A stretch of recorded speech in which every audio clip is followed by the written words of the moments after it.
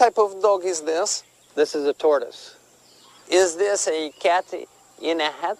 No. it's a tortoise in a shell.